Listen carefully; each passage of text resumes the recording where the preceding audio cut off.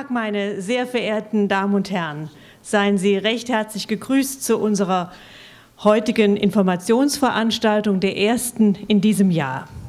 Seit nunmehr acht Jahren organisieren wir, das Gesundheitsamt und unsere Mitveranstalter, das Gesundheitsnetz Nordhessen, die KISS und die VHS, die Veranstaltungsreihe Gesundheit im Gespräch. Wir freuen uns über die anhaltende Resonanz. Das liegt einerseits sicher an den guten Experten unserer Region Kassel, aber auch daran, dass wir darauf achten, dass neutral und unabhängig von Eigeninteressen informiert wird. Wir danken heute Abend ganz besonders, ganz besonders unserem treuen und interessierten Publikum und ich bedanke mich äh, schon jetzt bei Ihnen und bitte um Verzeihung, dass Sie nicht so schön und optimal sitzen, wie Sie das sonst vielleicht tun. Ich habe wirklich nicht damit gerechnet, dass so viele Männer heute kommen. In diesem Jahr 2012 haben wir ein übergeordnetes Anliegen. Wir möchten nämlich bei jeder Informationsveranstaltung, wir haben ja sechs im Jahr, über das Thema Organspende informieren. Und ich würde Sie herzlich bitten, sofern Sie das noch nicht getan haben, beim Hinausgehen auch den Stand unserer heutigen Patenschaftskrankenkasse, der Barmer GEK, zu besuchen und sich dort Informationen über die Organspende abzuholen. Ich bin der Meinung, dass jeder Mensch selbst entscheiden sollte, ob er für oder gegen eine Organspende ist. Diese Entscheidung, sehr geehrte Damen und Herren, können Sie allerdings nur zu Lebzeiten treffen. Ansonsten überlassen Sie diese schwere Entscheidung Ihren Angehörigen. Und dann möchte ich Sie noch in eigener Sache in eigener Sache des Gesundheitsamtes auf ein Jubiläum in diesem Jahr aufmerksam machen, nämlich auf 25 Jahre erfolgreiche Selbsthilfe-Unterstützungsarbeit durch die KISS, die Kontakt- und Informationsstelle für Selbsthilfegruppen. Wenn Sie herausgehen, werden Sie ein Flipchart finden. Und ich habe mir gedacht, dass wir der KISS eine Freude machen könnten. Vielleicht haben Sie Lust, da ein Kürzel drauf zu schreiben auf das Flipchart oder ähm, etwas Nettes anderes zeichnen oder schreiben. Vielleicht, dass Sie, wenn Sie gleich hinausgehen, daran nochmal denken. Jetzt zu unserem heutigen Thema. Es geht ja um den Prostatakrebs, die verdrängte Männerkrankheit, was Männer wissen und was sie ernst nehmen sollten.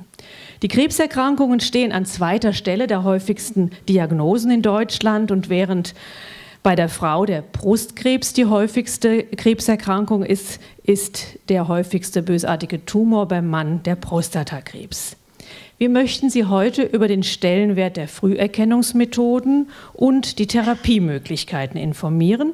Und ich habe deshalb entsprechende Experten in der Region eingeladen. Ich darf sie Ihnen kurz vorstellen. Ganz links außen begrüße ich recht herzlich Dr. Uwe Popert. Er ist Allgemeinmediziner und Hausarzt hier in Kassel. Guten Abend. Neben ja, Sie dürfen natürlich gerne klatschen. Neben ihm sitzt Herr Peter Ochs, er ist Redakteur der HNA und wird die Sendung heute moderieren. Dann darf ich begrüßen den Dr. Björn Volkmar, Professor Dr. Björn Volkmar. Er ist leitender Urologe der Gesundheitsholding Nordhessen hier am Klinikum Kassel. Sein Kollege, niedergelassener Urologe, neben ihm ist Dr. Dietrich Kran. Und wie immer dabei auch ein Vertreter immer der entsprechenden Selbsthilfegruppe, diesmal der Selbsthilfegruppe Prostatakrebs. Ich darf recht herzlich begrüßen Herrn Heinz Slotowitz. Unsere Informationsveranstaltung wird wie immer aufgezeichnet von der Firma Clip Media und im offenen Kanal gezeigt. Deshalb sagte ich ja eben schon am 24.04 um 19.30 Uhr können Sie die Sendung entweder im offenen Kanal sich anschauen oder anschließend auch im Internet unter gesundheitsamt.de, also www.gesundheitsamt-kassel.de. Das googeln Sie, das finden Sie und können dort die komplette Sendung ähm, natürlich sich anschauen. Und wie jedes Mal sind auch wieder die Gebärdendolmetscherinnen dabei, damit auch unsere gehörlosen Bürgerinnen und Mitbürger das Thema des heutigen Abends verstehen können. Ich sage jetzt schon mal vielen Dank allen Experten, unserem Moderator und unserer Patenschaftskrankenkasse der Barmer GEK für ihre freundliche Unterstützung. Und nun bedanke ich mich bei Ihnen fürs Zuhören und wünsche Ihnen heute Abend gute Erkenntnisse, viel Diskussion und einen schönen Abend. Dankeschön. Ja, meine Damen und Herren, ich muss mal aufstehen, dass ich bis hinten hingucken kann. Das ist ja vielleicht ein Auftakt für unsere diesjährige Reihe Gesundheit im Gespräch. Ganz hervorragend. Frau Dr. Karin Müller, die Leiterin des Gesundheitsamtes Region Kassel, hat Sie so freundlich begrüßt hier. Auch Sie herzlich willkommen.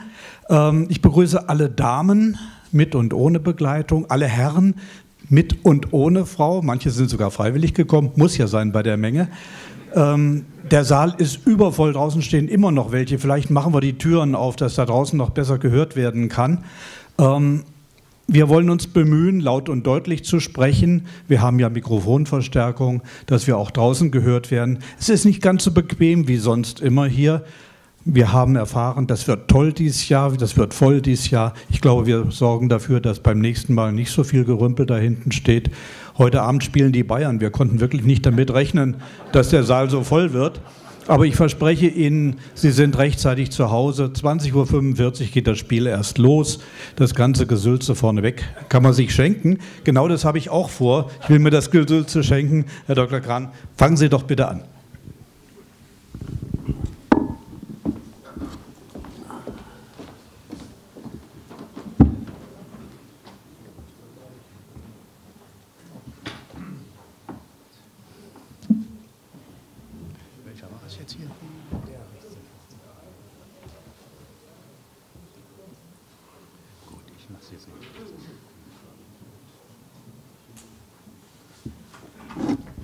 Gebe das Zeichen, vorausgesetzt, dass es der Operateur sieht.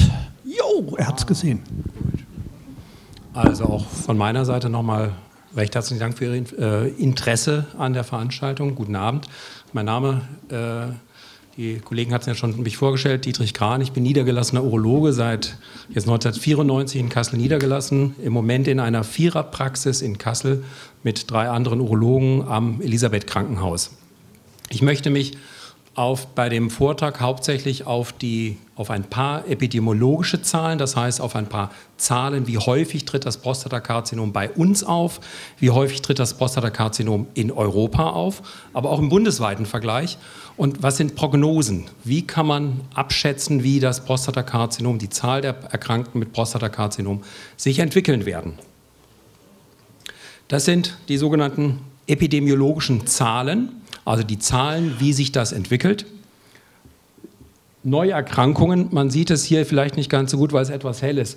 2008 63.400 und die Prognose nebenan 67.600. Das heißt, die Erkrankungshäufigkeit steigt.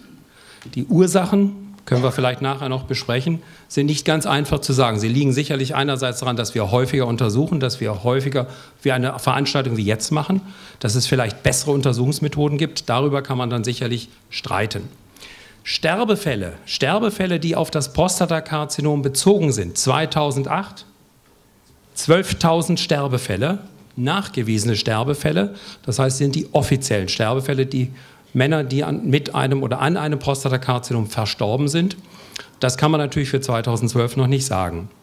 Und man hat mal ausgerechnet, und das ist nicht irgendjemand, sondern das Robert-Koch-Institut in Deutschland, also unsere oberste, wenn Sie wollen, mit oberste Gesundheitsinstanz, hat das mal ausgerechnet. Das Erkrankungsrisiko eines Mannes, der 40 Jahre alt ist, hat einer von 900 die, das Risiko, an Prostatakrebs zu erkranken. Beim 50-Jährigen einer von 82, beim 60-Jährigen einer von 22 und bei 70-Jährigen einer von 15, also jeder siebte. Erkranken, das heißt lange nicht davon, dass jeder siebte auch behandelt wird, geschweige denn jeder stirbt. Das Risiko, dass Männer überhaupt während des gesamten Lebens erkranken, schätzt man auf einen, auf acht, äh, einen von acht Männern. Also ungefähr 12 Prozent. Das heißt also, jeder Achte, jeder siebte Achte kann erkranken an einem Prostatakarzinom während seines gesamten Lebens. Das Sterberisiko hat man ebenfalls gesagt, der 40-Jährige hat ein extrem niedriges Risiko an Prostatakrebs zu äh, versterben, 1 zu 20.000. Wird er 50, reduziert sich das auf 1 zu 1400. Bei den 60-Jährigen 1 zu 250, bei den 70-Jährigen 1 zu 79. Das Lebenszeitrisiko für auch für die ganz alten Männer, die jetzt hier nicht extra aufgeführt sind, einer von 31. Das sind erstmal Zahlen, die zeigen sollen, wie ist jetzt das Prostatakarzinom im Moment in Deutschland an nackten Zahlen. Im Vergleich, im internationalen Vergleich auf der linken Seite können Sie sehen, Frankreich steht bei dieser Quelle vom Robert Koch Institut ganz weit vorne. USA steht vorne, Schweden steht vorne, baltische Länder, die hier nicht aufgeschaut Estland, Lettland, Livland, stehen deutlich vor Deutschland. Deutschland ist mit 110 pro 100.000 Männern, wird angegeben, in den Niederlanden, in England etwas weniger. Es gibt aber auch Unterschiede innerhalb der Bundesrepublik. Man kann fast, das ist auch neulich mal durch die Gazetten gelaufen, ein gewisses Nord-Süd-Gefälle zum Teil sehen. Das heißt, in Niedersachsen, in Brandenburg, Schleswig-Holstein erkranken mehr Männer an Prostatakarzinom durchschnittlich als der Bundesdurchschnitt. In Bayern, Nordrhein-Westfalen, gut, das gehört nicht gerade zu den Südländern, aber in Hessen, wobei in Hessen die Zahlen sind vorläufig, sie sind nicht ganz komplett, sind es deutlich weniger. Aber es sind, wie gesagt, 110, da gibt es einen gewissen Unterschied. Woran das liegt, muss man diskutieren, da gibt es keine feste Meinung dazu. Ja, die frühere Diagnostik habe ich Ihnen gesagt. Wodurch kann das kommen? Wir diagnostizieren es vielleicht häufiger, wir machen vielleicht mehr, wir haben Aufklärungskampagnen wie durch die Selbsthilfegruppen, wir haben Früherkennung. Früherkennung gibt es seit 1970, haben die Krankenkassen es angeboten. Und man hat früher immer gesagt, so ja, das ist eine Altmännerkrankheit, 75, 80-Jährige. Es gibt tatsächlich immer noch einen statistischen Gipfel 75 bis 80 Jahre sind die größte Gruppe, die an Prostatakrebs erkranken. Aber wir haben in den letzten Jahren bemerkt, dass die Zahl der Männer immer jünger werden. Das heißt, dieser Gipfel wird sich immer mehr zum jüngeren Alter hin verschieben. Das heißt, wir diagnostizieren die Erkrankung jetzt auch schon eher bei 55, bei 52-Jährigen. Es wird mehr und das liegt sicherlich an den Früherkennungsmaßnahmen. Ganz wichtig dabei zu sehen, was was erwarten wir vom Leben eigentlich? Was müssen wir erwarten vom Leben? Das sind auch Daten vom Robert Koch Institut. Unsere Lebenserwartung. Der 65-Jährige, der ganz normale, in Anführungszeichen 65-Jährige mit all seinen mehr oder weniger starken Erkrankungen, hat heutzutage eine Lebenserwartung von knapp 18 Jahren. Das heißt, er wird ungefähr 83 Jahre alt werden. Ist er völlig gesund? Hat er keinen Zucker? Hat er keine Koronarherzkrankheit? Treibt er ein bisschen Sport? Ist er nicht sehr übergewichtig? Hat er wahrscheinlich eine Lebenserwartung zusätzlich von 24 Jahren. Das heißt, der 65-Jährige wird 90 werden. Und so pflanzt sich das bei den anderen Altersgruppen genauso fort. Das heißt, ganz unten, der 75-Jährige, der gesund ist, wird wahrscheinlich auch 90 werden. Und damit wird sich natürlich dann die Frage stellen, hören wir irgendwann mit der Diagnostik bei einem Patienten ab einem gewissen Alter auf oder können wir das den Patienten zumuten wollen wir das den Patienten zumuten? Wollen wir vor allen Dingen auch dem Patienten das Recht geben, sich einer solchen Diagnostik eventuell zu unterziehen? Und natürlich dann einer Therapie. Der Anstieg, man kann es ungefähr sich grob machen, pro Jahr ist die erwartete Lebens, äh, die, der Anstieg der Lebenserwartung um zwei bis drei Monate jedes Jahr. Das hängt natürlich jetzt nicht nur alles mit Prostatakrebsbehandlung, Diagnostik, urologischer Behandlung, ärztlicher Behandlung allgemein zusammen, sondern natürlich mit allgemeiner Verbesserung der Hygiene, der Ernährungsbedingungen. Und äh, ich habe das heute einem Patienten in der Praxis gesagt, Sie können relativ äh, sicher heute Nacht durch die äh, Obere Königstraße gehen, ohne totgeschlagen zu werden. Machen Sie das mal mitten in Berlin, machen Sie das mal in New York, machen Sie das mal in Johannesburg, da kommen Sie nicht lebend durch. Das heißt, das führt auch zur erhöhten Lebenserwartung, unsere allgemeine Sicherheit. Das darf man nicht dabei vergessen. Die Ursachen für ein Prostatakarzinom sind nicht eindeutig bekannt. Es gibt Hinweise bzw. Vermutungen, dass vielleicht Entzündungen, chronische Entzündungen, Virusentzündungen für die Ausbildung, für die Entwicklung eines Prostatakarzinomes verantwortlich sein können. Das Hauptrisiko ist nach wie vor das Alter. Das Alter ist das höchste oder größte Risiko, an Prostatakrebs zu erkranken. Wir wissen es von Patienten, die sehr, sehr viel über lange Zeit hohe Mengen Alkohol trinken, haben ein erhöhtes Risiko, Prostatakrebs zu bekommen. Wir wissen, dass bei sieben bis zehn Prozent aller Patienten, bei denen ein naher Angehöriger, in dem Falle der Vater, der Bruder, der Onkel, an Prostatakrebs erkrankt oder sogar verstorben sind, auch das Risiko für eine solche Erkrankung ebenfalls erhöht ist. Und wir wissen es, habe ich jetzt nur mal so aus der Literatur herausgezogen, bei hohen Vitamin E-Dosen. Es gab mal eine Zeit, da hat man Vitamin E als Wundermittel gegen und für alles genommen. Diese Männer erkranken auch häufiger an Prostatakrebs. Männer, die hohe Dosen Folsäure nehmen müssen, erkranken häufiger an Prostatakrebs. Da hat das Risiko sich verdreifacht. Es gibt positive Effekte. Wir können etwas tun. Man hat mal geguckt, das kennen Sie, haben Sie sicherlich gehört aus der Literatur, Tomaten. Das Lycopin in den Tomaten hat einen gewissen Schutz. Sie müssen mindestens 200 Gramm Tomaten jeden Tag zu sich nehmen, um die entsprechende Menge dieses Stoffes zu sich zu nehmen. Und am besten in gekochtem Zustand. Am besten Tomatensaft oder am besten ganze Tomaten püriert und aufgekocht. Also eine Tomatensoße mit möglichst wenig Salz und möglichst wenig Zucker. Was eindeutig heute ist, ist ein schützender Effekt von Aspirin. 100 Milligramm ASS, Acetylsalicylsäure pro Tag hat in großen Studien einen gewissen Schutz gegeben. Nur Aspirin. Andere Medikamente aus dieser Gruppe, die man sonst bei Schmerzen, die man bei Arthrose, bei Gelenkveränderungen nimmt, haben diesen Effekt nicht. Also Aspirin 100 kann es helfen. Und, was ganz wichtig ist, eventuell sogar auch der Lebensstil. Das heißt Sport, eine relativ gesunde Ernährung, immer mal ein bisschen Bewegung, kein massives Übergewicht sicherlich auch ein gutes soziales Leben, sich wohlfühlen, in der Gesellschaft integriert sein, können auch etwas Positives dazu beitragen, nicht so leicht an Prostatakrebs zu erkranken. Wie gesagt, das Hauptrisiko ist das Alter und da können wir in der Regel nichts machen. Was ist PSA? PSA hat eine ganz interessante Geschichte. Prostata-spezifisches Antigen. Ist 1966 erstmals nachgewiesen worden mit einer etwas merkwürdigen Geschichte. Es ist von Gerichtsmedizinern in Kalifornien, in den USA, nachgewiesen worden erstmals. Man hat, es, man hat versucht, ein typisch männliches Eiweiß zu finden, was man nur Männern zuweisen kann. Es ging um äh, Vergewaltigungsfälle, die man nicht klären konnte. Und da schon damals in den USA relativ viele Männer sterilisiert worden sind, konnten keine Spermien nachgewiesen werden in Vergewaltigungsopfern. Und man hat versucht, in dem Sekret, in dem Scheidensekret, männliche Proteine, männliche Eiweiße nachzuweisen. Und da wurde eben dieses PSA gefunden. Erst 1979 konnte man dann dieses Eiweiß direkt der Prostata zuordnen und deswegen dann prostataspezifisch, weil es ist wirklich nur von der Prostata gebildet, von keinem anderen Organ in unserem Körper. Und da wir Männer eine Prostata haben und die Frauen keine Prostata haben, haben Frauen in der Regel einen nicht messbaren Prostatawert.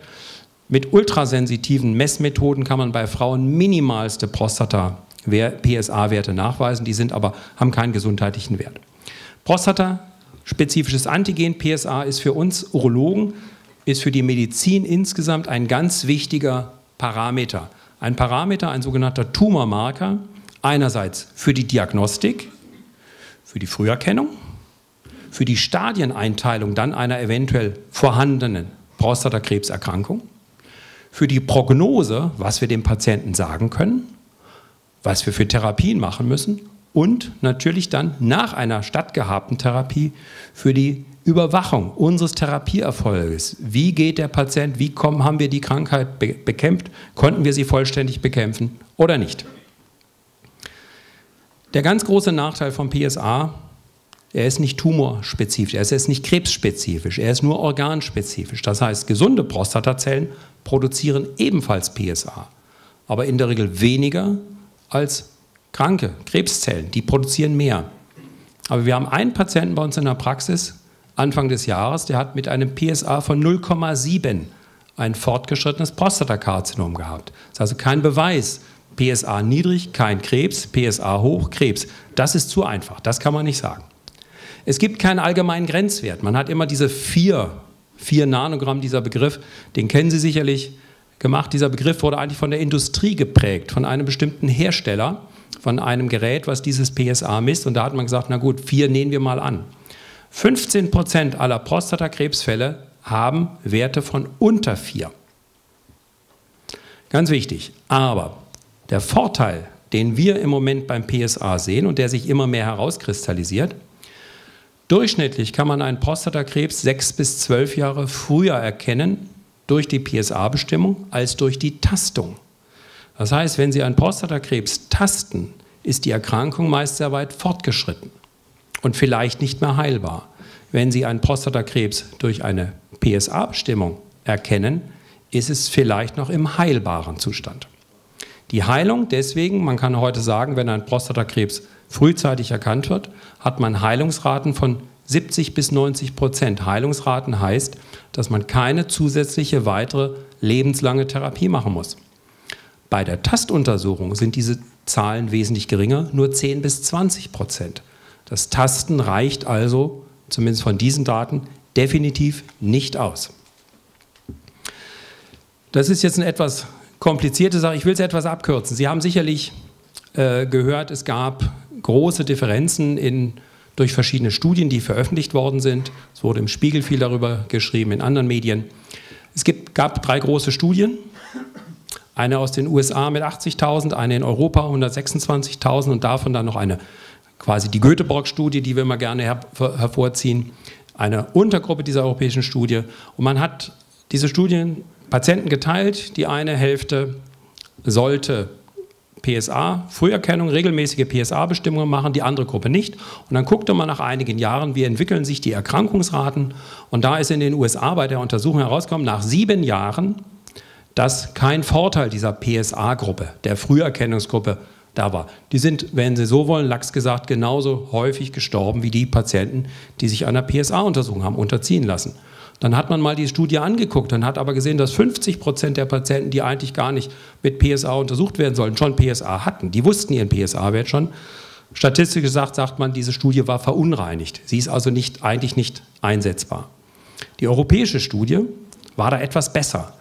Aber auch da gab es viele Verunreinigungen. Und dort hat man einen Vorteil der 20 bis 30 prozentigen Senkung der Krebssterblichkeit also der Sterblichkeit am Prostatakrebs und seinen Komplikationen durch die PSA-Früherkennung gefunden. Es ist eine ganz merkwürdige Geschichte. Diese beiden Studien sind zur gleichen Zeit in einem gleichen Journal, in einer gleichen Zeitschrift veröffentlicht worden. Und der amerikanische Hauptautor hat gesagt, wir mussten unsere oder wir wollten unsere Studie schneller veröffentlichen, weil wir wussten, dass die Europäer ihre Studie veröffentlichen. Und deswegen haben die nach sieben Jahren gemacht. Die europäische Studie ging über neun Jahre. Die skandinavische Studie, die sogenannte Göteborg-Studie, ging über 14 Jahre. Und da hat sich dann plötzlich ein deutlicher Vorteil der Sterbenswahrscheinlichkeit gezeigt. Das heißt, hier konnten wir oder konnte man den Vorteil der PSA-Frühuntersuchung auf 40 Prozent Senkung der Krebssterblichkeit heruntersenken. Und das ist natürlich ein großer Vorteil. Wahrscheinlich bedingt durch die längere Laufzeit. Bei solchen Studien muss immer eine sehr lange Laufzeit gegeben werden. Man kann nach fünf, nach sechs, nach sieben Jahren häufig noch gar keine Vorteile sehen. Es gibt aber immer, wir brauchen lange Untersuchungen, es gibt eine bestimmte berühmte Zahl, die Zahl der zu untersuchenden, Number needed to screen, also wie viele Leute muss ich angucken, wie viele Leute muss ich mit PSA untersuchen, um quasi einen Patienten vor dem Tod vor Prostatakrebs zu retten. Und bei diesen Studien, die unter, nicht lange als zehn Jahre laufen, muss ich 1410 Männer untersuchen, das heißt PSA abnehmen, untersuchen, um einen Mann dann herauszufischen, den ich tatsächlich heilen kann, der nicht stirbt. Die Zahl der zu Behandelnden, um das zu erreichen, liegt bei 1 zu 48. Also 48 Männer meinetwegen operieren, bestrahlen oder irgendetwas machen, um einen vor dem Krebs zu, zu sterben. Habe ich diese Studie allerdings länger laufen, und das war bei dieser Göteborg-Studie der Fall, 14 Jahre, sind die Zahlen schon anders. Das heißt, ich muss nur noch in Anführungszeichen 293 Männer untersuchen, früh erkennen, machen, um einen vor dem Tod zu bewahren. Und ich muss nur noch zwölf behandeln. Trotzdem ist und bleibt ein ganz großes Problem, was wir mit der PSA-Diagnostik haben, dass wir eventuell eine Überdiagnose treffen. Das heißt, wir behandeln Männer, die vielleicht gar nicht behandelt werden müssten, die vielleicht niemals an ihrem Prostatakrebs erkranken, keine Probleme haben und vor allen Dingen nicht daran versterben. Deswegen auch das Fragezeichen. Das Gleiche gilt, und da kann der Professor Volkmar sicherlich besser Auskunft geben, das Problem der Übertherapie. Wir behandeln sicherlich Männer, die wir eigentlich gar nicht behandeln müssten. Und das Ziel muss sein, dass wir diese Männer erkennen, die wir behandeln müssen und die, die wir nicht behandeln müssen. Ja, zur Früherkennung ganz kurz. Die gesetzlichen Krankenkassen bieten Ihnen ab dem 45. Lebensjahr jährlich eine Untersuchung der Prostata, eine Tastuntersuchung der Prostata, eine Untersuchung der Haut, des äußeren Genitale, der Hoden, des Penis und der Lymphknoten an und Blutdruck und bei 50-Jährigen und Älteren dann noch der Stuhltest und bei 55-Jährigen gibt es dann noch die Darmspiegelung. Das war's. Der PSA-Wert ist nicht Bestandteil dieser Vorsorgeuntersuchung. Die Vorsorgeuntersuchung ist ungefähr 1970 eingeführt worden. Da gab es noch kein PSA. Deswegen konnte das auch gar nicht gemacht werden. Es wurde bisher aber noch nicht angefangen. Das ist eine sogenannte IGEL-Leistung, individuelle Gesundheitsleistung. Den Begriff haben Sie sicherlich schon gehört. Der eine oder andere hat es sicherlich auch gemacht. Kostet ungefähr 20 Euro. Die Krankenkassen dürfen es nicht bezahlen, weil es ist nicht Bestandteil der Leistung. Wenn der Verdacht einer Erkrankung vorliegt, dann wird selbstverständlich diese Untersuchung von der Krankenkasse bezahlt. Verdacht einer Erkrankung gilt für uns wie Krankheit. Nur wenn kein in der Früherkennung keine Erkrankung vorliegt, dann muss der Patient selber bezahlen. Ist jetzt nun die Bestimmung bei allen Männern sinnvoll? Wahrscheinlich nicht. Also, wir machen das so, dass wir in der Regel allen Männern in dem Alter, die dafür in Frage kommen, es anbieten, fragen, möchten sie es haben?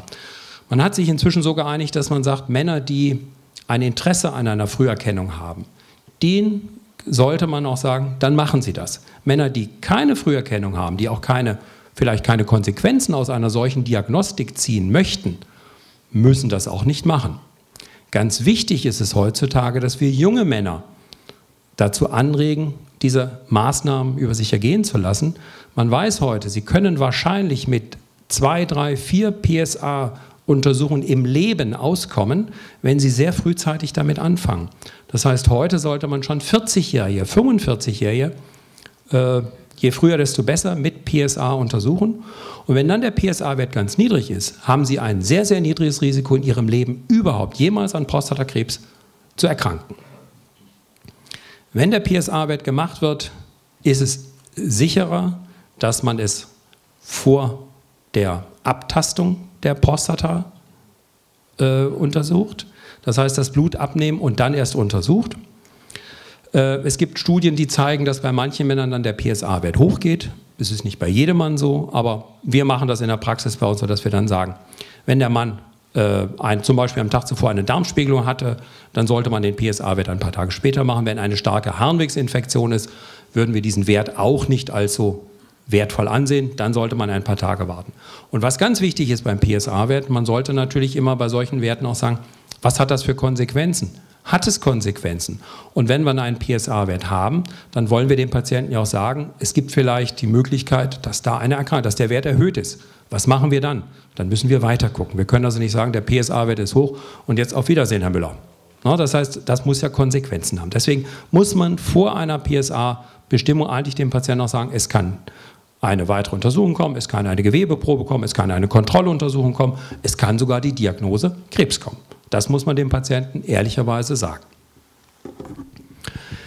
Bildgebende Verfahren, das heißt Ultraschall, Kernspintomographie, Computertomographie, sind leider nicht krebsspezifisch. Wir haben kein bildgebendes Verfahren, was sicher zeigt, da ist in der Prostata Krebs was anderes ist zum Beispiel beim Nierenkrebs. Da können wir viel besser mit umgehen mit diesen bildgebenden Verfahren. Hier gibt es das leider nicht. Es gibt aber neue, Erkenn neue Erkenntnisse, neue Entwicklungen beim Ultraschall. Es gibt Computermodelle, die das verbessern können. Es gibt eine sogenannte Elastographie, das heißt, Sie können sich so vorstellen, als wenn Sie die Prostata zusammendrücken und aufgrund des Widerstandes, die bei diesem Zusammendrücken entsteht, dann härtere Areale, das können Prostatakrebsareale sein, eher erkennen. Man kann versuchen, mit Kontrastmittel, äh, so ein Ultraschallkontrastmittel zu arbeiten. Man kann es versuchen, in der Kernspintomographie mit Kontrastmittel zu arbeiten. Dort gibt es vielversprechende Ergebnisse.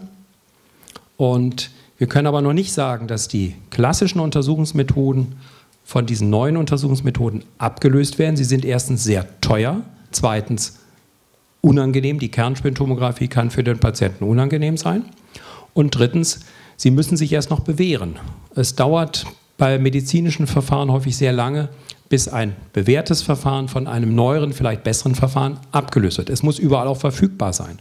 Das kann man auch nicht sagen, dass es nur an Universitätskliniken verfügbar ist und in den anderen Kliniken, in den anderen Praxen geht es nicht. Das muss man sagen. Das heißt, deswegen müssen dort laufen sehr viele Studien im Moment und man wird in einigen Jahren sicherlich sagen können, das ist ein gutes Verfahren und das ist ein weniger gutes Verfahren. Wie weisen wir jetzt ein Prostatakarzinom üblicherweise nach? Durch Gewebeproben. Wie kommen wir an die Gewebeproben heran? Das sind die sogenannten histologischen Untersuchungen, also die feingeweblichen Untersuchungen. Das wird meistens durch die sogenannte Prostatastanze oder Prostatabiopsie entnommen. Das heißt, wir entnehmen Gewebe aus definierten Arealen der Prostata. In ganz seltenen Fällen haben wir das Gewebe natürlich auch, wenn wir Patienten operieren, die schlecht Wasser lassen können. Wenn wir also sozusagen die Aushobelung der Prostata machen, dann haben wir natürlich ganz viel Gewebe. Nur die Krebszellen sitzen zumindest am Anfang meistens nicht im Inneren der Prostata, dort, wo sie das Wasserlassen behindern, sondern in der Außenzone. Und da kommen wir bei der Operation in der Regel gar nicht hin. Die Prostatabiopsie wird in der Regel ambulant, bis auf ganz wenige Ausnahmen, ambulant in örtlicher Betäubung durchgeführt. Es kann durch ein Betäubungsgel geschehen, es kann durch eine örtliche Spritze, die man also dann an in der Nähe der Prostata setzt, gemacht werden. Ganz wichtig dabei Antibiotika. Man macht es durch den Enddarm. Ich zeige Ihnen dann gleich noch ein, äh, ein Schaubild. Im Enddarm sind ganz viele Bakterien und die dürfen wir natürlich bei der Prostatabiopsie nicht in die Prostata hinein buxieren, weil sie dann eine Prostataentzündung haben könnten. Das heißt, um die Prostatabiopsie herum muss der Patient ein Antibiotikum nehmen. In Studien ist gezeigt worden, Fieber kann bis zu 4% auftreten, also 4 von 100 Patienten haben Fieber und 0,8% können sogar stationär deswegen aufgenommen werden. Es ist kein einfacher, es ist ein einfacher Eingriff, aber es ist kein äh, unproblematischer Eingriff, den man einfach mal so macht. Die Zukunft wird vielleicht sein, dass wir kernspinngesteuert eine Biopsie entnehmen können, viel gezielter, und dass wir eventuell im Blut zirkulierende Tumorzellen nachweisen können, dass wir also dann über einfachere, nicht so eingreifende, nicht invasive Maßnahmen viele Informationen kriegen. Entschuldigung, Herr Dr. Kran, ich muss mich mal ganz uncharmant zu Wort melden. Bitte. Aber Ihre Kollegen wollen auch noch was sagen und wir wollen noch eine kleine Diskussion anhängen. Sie haben kräftig überzogen im Augenblick. Können wir erstmal eine kleine Pause machen? Kein Problem. Besten Dank. In der Diskussion ergeben sich bestimmt noch Möglichkeiten, diese Bilder auch zu zeigen. Dankeschön. Darf ich jetzt Herrn Professor Björn Volkmar ans Mikrofon bitten? Und herzlichen Dank nochmal, Herr Dr. Kram.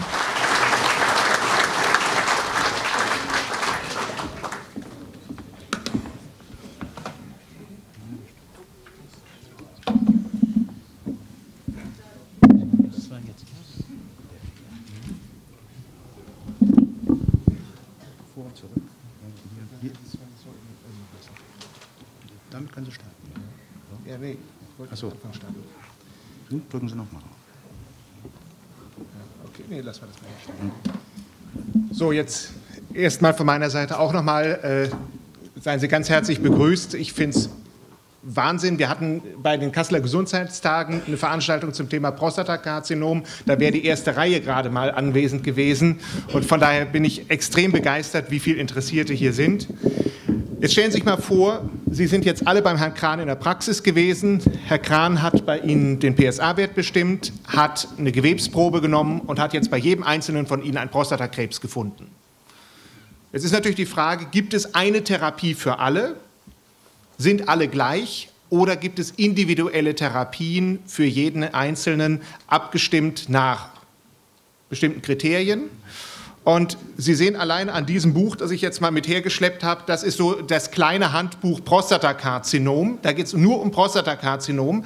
Äh, das wäre bei weitem nicht so dick, wenn es nur eine Standardtherapie gäbe. Das Entscheidende für uns ist es, ähm, ganz individuell den Patienten zu sehen, den Tumor, den er hat, zu sehen, aber auch seine Begleiterkrankung, seine allgemeinen Umstände und für ihn individuell das beste Therapiekonzept zu machen. Deswegen ist für uns die Gewebsprobe, die vorher abgenommen wird, so eine wichtige Untersuchung. Bei der Gewebsprobe werden zehn bis zwölf Stellen der Prostata biopsiert. Wir kriegen also eine Information, nicht nur, ob da ein Krebs überhaupt drin ist, sondern wir erfahren, wie viele von den zehn Gewebsproben sind befallen, an welcher Stelle sind die befallenen Gewebsproben und was der Pathologe uns noch zusätzlich sagt, und das ist die wichtigste Information, wie bösartig ist der Krebs.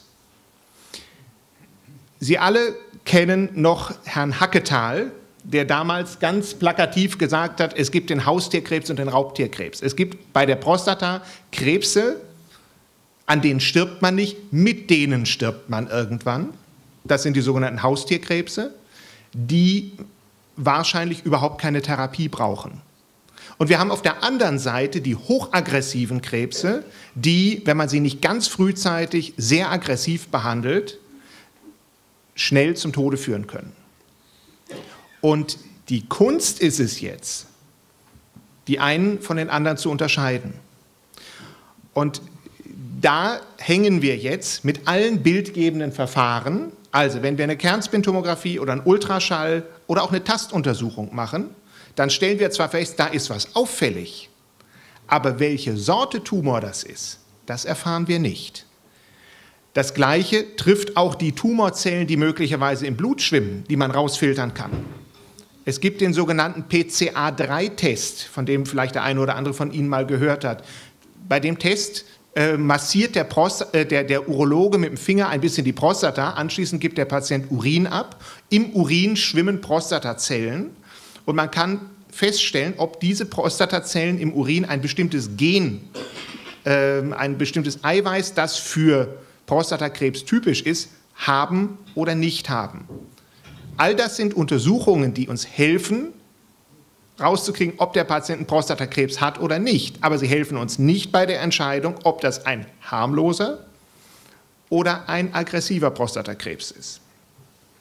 Was der Pathologe als Hilfestellung uns anbietet, ist den sogenannten Gleason Score. Der Gleason Score ist eine Einteilung in der Bösartigkeit des Prostatakrebses. Die geht von zwei, das sind die harmlosesten, bis zehn, das sind die mit Abstand aggressivsten. Sprich, je höher die Zahl ist, desto aggressiver, desto schneller wächst der Tumor und umgekehrt, je niedriger die Zahl ist, desto eher ist es ein Patient, den man vielleicht nur beobachten muss oder wo man überhaupt nichts tun muss. Wir haben bei der Therapie des Prostatakrebses grundsätzlich natürlich immer uns zu überlegen, wenn sich ein Patient jetzt erstmalig mit einem Prostatakrebs vorstellt, müssen wir wissen, ist es ein Frühstadium, sprich der Tumor sitzt nur da, wo die Prostata sitzt, oder hat er vielleicht schon gestreut in die Lymphknoten, in die Knochen oder in andere Organe. Lymphknoten oder Knochen sind die Stellen, wohin ein Prostatakrebs am liebsten oder am ehesten streut. Wenn der Tumor auf die Prostata beschränkt ist, also ein Frühstadium ist, haben wir eine Chance, den Tumor mit einer lokalen Therapie zu behandeln und zu heilen. Lokale Therapie wäre eine Operation, aber wäre auch eine Strahlentherapie. Und bei der Strahlentherapie gibt es zwei Formen, über die wir sprechen müssen. Das eine ist die Strahlentherapie von außen. Das heißt, der Patient liegt in einem Gerät und von außen kommen die Strahlen und werden auf seine Prostata gebündelt. Oder die Brachytherapie. Das heißt, es werden radioaktive Nadeln in seine Prostata hineingespickt, die die Prostata von innen bestrahlen. Die bleiben dann praktisch für immer im Patienten drin. Das wären die lokalen Behandlungsformen. Ist der Tumor dagegen gestreut oder metastasiert oder kommt nach einer vorhergehenden Therapie der Tumor wieder, dann müssen wir den Tumor als eine Ganzkörpererkrankung sehen, die auch eine Ganzkörpertherapie braucht. Sprich, Operation oder Strahlentherapie nur in Ausnahmefällen oder wenn es an einer Stelle ein lokales Problem gibt. Stattdessen eher Hormontherapie oder vor zehn Jahren hat man darüber noch nicht gesprochen, heute reden wir äh, regelmäßig drüber, oder dann auch Chemotherapie. Das heißt, die Therapiekonzepte müssen am Anfang einmal festgelegt werden, wenn die Diagnose gestellt worden ist. Können wir einen Prostatakrebs lokal behandeln und heilen? Oder können wir den Krebs zwar für viele Jahre den, im Griff halten, aber nicht komplett wegkriegen? Was ich den Patienten immer versuche klarzumachen, ist, dass sie sich dann, dass dann ein äh, metastasierter Prostatakrebs noch lange kein Todesurteil sein muss. Der längste Verlauf, den ich persönlich kenne, und Herr Kran kennt solche Fälle auch aus der Praxis, der längste Verlauf, den ich persönlich kenne mit Knochenmetastasen, ging 40 Jahre. Ähm, der hat natürlich Schwein gehabt, kein Thema. Wir kennen auch genügend Fälle, die, die viel schneller gehen. Aber ähm, äh, eine Metastasierung ist noch lange kein Todesurteil. Wir haben heutzutage Behandlungsmöglichkeiten, die die Behandlung über viele Jahre erstrecken können. Und wenn Sie sich vorstellen, dass Sie heute einen Patienten mit Metastasen, ich sage mal im Alter von 80 Jahren feststellen, dann können wir, selbst wenn der metastasiert ist, sagen, der stirbt wahrscheinlich nicht am Prostatakrebs, sondern mit ihm. Ich möchte vielleicht noch mal anknüpfen an das, was äh, Herr Kran zur Vorsorge gesagt hat. Es gibt ein sehr gutes Beispiel hier im Großraum Kassel. Das ist äh, die Volkswagen AG. Die Volkswagen AG ist dazu übergegangen, bei allen ihren Mitarbeitern PSA-Werte zu kontrollieren. Und ich kenne die PSA-Werte aus dem vergangenen Jahr. Dort ist es so, von 2000 Mitarbeitern waren 60 dabei, die einen PSA-Wert größer als 2 hatten. Zwölf hatten einen Prostatakrebs. Von denen, die einen Prostatakrebs hatten, waren immerhin drei von den Zwölfen jünger als 50. Ja? Keiner von denen wäre jemals aufgefallen, keiner von denen wäre freiwillig jemals zum Urologen gegangen, wenn der PSA-Wert nicht bestimmt worden wäre. Dass für einen in der Altersklasse unter 50 ein Prostatakrebs, selbst wenn er rechtzeitig, selbst wenn er behandelt wird, irgendwann mal durch die Länge der Lebenserwartung, ja, der hat ja noch 40 Jahre Lebenserwartung, irgendwann gefährlich werden kann, ist kein Thema. Es gibt ja Empfehlungen, die zum Beispiel sagen, mit der Prostatakrebsvorsorge soll man aufhören mit etwa 75. Nach dem Motto, ist der Patient älter als 75, äh, und der Prostatakrebs wird erst im späten Stadium entdeckt, kann man ihn immer noch so lange behandeln, dass der Patient genauso lange lebt, als hätte er nie einen Prostatakrebs gehabt. Was mir dabei wichtig ist, ist es, Sie können nicht alle Menschen über einen Kamm scheren. Sie kennen genauso den 75-jährigen Pflegefall, bei dem braucht man sicherlich keine Prostatakrebsvorsorge. Und den 75-Jährigen, der jeden Tag noch 40 Kilometer mit dem Rad fährt und äh, wahrscheinlich eher das Alter von einem Johannes Hesters anstrebt, ähm, sofern er nicht vom Auto überfahren wird. Also deswegen, wir müssen uns die Menschen angucken und individuell entscheiden. Ähm, ich zeige Ihnen jetzt ein bisschen was zu den verschiedenen Therapieformen des äh, Prostatakrebses. Ähm, wenn Sie sich dieses Dia angucken, zeigt Ihnen das. Ähm, das muss ich eben gucken, Beamer ist hier. Wir haben also die Patienten mit einem Frühstadium, für die kann ich anbieten die Operation, die Strahlentherapie, die Brachytherapie, das ist also diese Strahlenbehandlung mit den radioaktiven Nadeln, oder in einer ausgewählten Gruppe sogar eine aktive Überwachung. Das heißt, diese Patienten werden überhaupt nicht operiert, sondern denen sagt man, okay, wir wissen jetzt, du hast einen Prostatakrebs. Dieser Prostatakrebs ist klein, er ist keiner von den ganz extrem aggressiven und dein PSA-Wert ist noch nicht besonders hoch. Wenn wir dich jetzt engmaschig kontrollieren, dann verpassen wir nicht den richtigen Zeitpunkt, doch aktiv zu werden. Aber vielleicht können wir bei dir die Behandlung deines Prostatakrebses noch um ein paar Jahre hinauszögern vielleicht sogar lebenslang hinauszögern. Diese aktive Überwachung ist eine äh, Behandlungsform, die aus Skandinavien mehr oder weniger jetzt hier nach Deutschland rübergeschwappt ist. Und die soll ein bisschen auch berücksichtigen den Aspekt, dass wir häufig Prostatakrebse übertherapieren. Dass wir Patienten operieren, die eigentlich gar keine Therapie gebraucht hätten. Ich sage Ihnen ganz klar, für mich ist es eine der größten Niederlagen, einen Patienten zu haben, bei dem eine Gewebsprobe positiv war. Dann operiere ich ihm die Prostata raus und am Ende findet der Pathologe in der Prostata keinen Tumor mehr. Weil offensichtlich der Tumor so klein war, dass er mit der Stanze schon entfernt war. Das ist eine klassische Übertherapie. Wenn sich so ein Fall durch irgendetwas im Vorfeld vermeiden lässt, sollte man das auf jeden Fall tun. Wenn wir auf der anderen Seite einen Patienten mit einem metastasierten Tumor haben, dann haben wir in erster Linie die Hormontherapie, wir haben aber auch die Chemotherapie, wir haben bei, bei schmerzhaften Metastasen die Strahlentherapie. Dann bestrahlt man also nicht die Prostata, sondern eher die Stelle, die wehtut. Irgendwelche Knochenmetastasen zum Beispiel. Und wir haben natürlich auch die ganzen Aspekte der Palliativmedizin, also alle anderen Maßnahmen, die jetzt keine direkte Tumortherapie sind, um seinen Zustand zu verbessern. Und was wir dazwischen hier noch haben, sind die Patienten, die wir zunächst operiert haben, von denen wir gedacht haben, so den haben wir jetzt geheilt. Und der kommt nach zwei, fünf, zehn oder auch 15 Jahren wieder und sagt, mein PSA-Wert steigt wieder an. Denn dafür ist der PSA-Wert perfekt. Der PSA-Wert nach einer geheilten Therapie, wenn die Prostata entfernt ist, der Krebs entfernt ist, sollte runtergehen und unten bleiben. Und wenn er dann irgendwann wieder ansteigt, dann müssen wir uns auf die Suche machen, ob möglicherweise hier eine Metastase vorliegt. Und dann können wir eben gucken, kann ich den Tumor identifizieren, lokalisieren, dann kann ich ihn vielleicht sogar operieren oder bestrahlen oder beginne ich dann mit einer Hormonbehandlung. Nur dafür wollen wir dann natürlich wissen, wo sitzt er tatsächlich.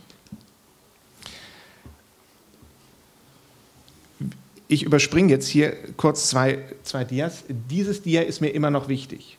Wir hatten vorhin gesagt, PSA-Wert von 4 bedeutet, wir haben, wenn wir alle Gewebsproben zusammennehmen, eine 25% Trefferquote.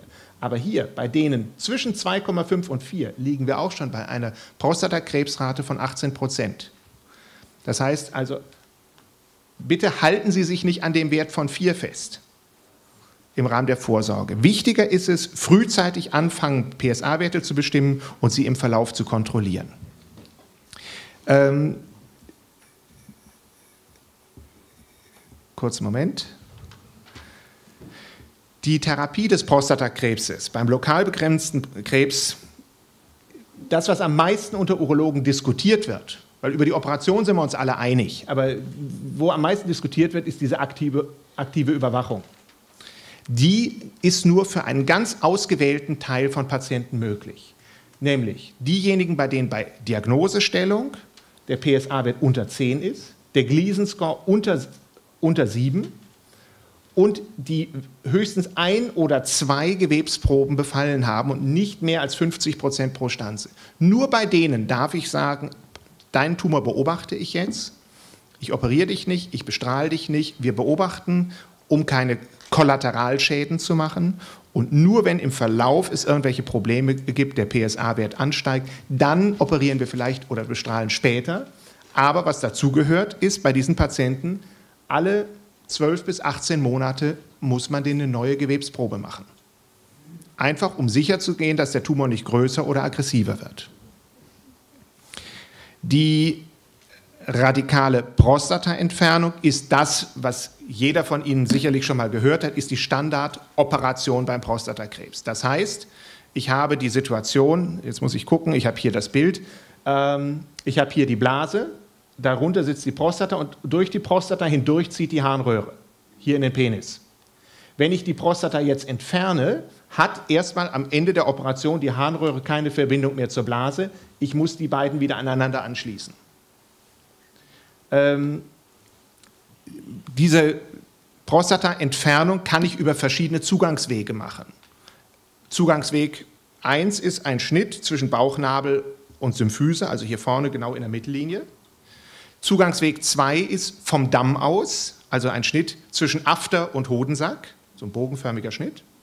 Möglichkeit 3 ist eine Laparoskopie, eine Bauchspiegelung. Möglichkeit 4 als Abwandlung der Bauchspiegelungsoperation jetzt inzwischen mit einem sogenannten OP-Roboter. Das ist praktisch auch wie eine Operation mit Bauchspiegelung, nur dass der Operateur die Griffe nicht selber in der Hand hat, sondern ein, ein Automat sie führt und der Operateur sitzt praktisch an so einer Videokonsole wie Sie das so äh, von den Videospielen vielleicht kennen. Der Effekt, was dabei gemacht wird, ist immer das gleiche. Es wird die Prostata entfernt, sie wird unten von der Harnröhre abgeschnitten, sie wird oben von der Blase abgeschnitten und die beiden werden wieder zueinander, aneinander genäht. Dann dauert es eine bestimmte Zeit, bis die beiden miteinander wasserdicht verheilt sind. Ähm, und wenn sie wasserdicht verheilt sind, kommt der Katheter raus. Und ähm, das ist als solches erstmal, erstmal äh, die Operationsmethode. Die Operation hat, also wie gesagt, das sind die Zugangswege, ähm, wird heutzutage in Vollnarkose durchgeführt, dauert, egal mit welcher Technik man sie macht, etwa äh, zwei bis zweieinhalb Stunden. Ähm, der Patient ist im Regelfall heutzutage so lange im Krankenhaus, bis diese Nahtstelle zwischen Blase und Harnröhre wasserdicht abgeheilt ist, ähm, sprich etwa, etwa eine Woche.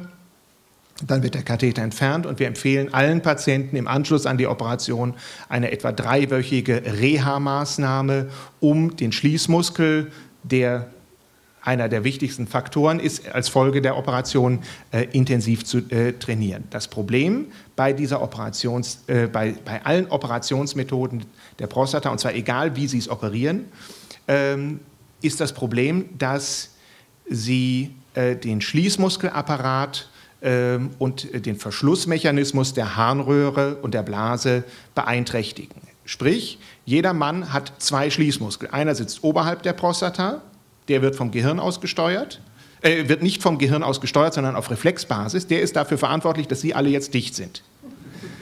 Der zweite Schließmuskelapparat sitzt unterhalb der Prostata, wird vom Gehirn aus gesteuert. Der ist zum Beispiel dafür verantwortlich, wenn Sie Wasser lassen wollen, dass Sie zwischendurch zukneifen, den, den Strahl unterbrechen können.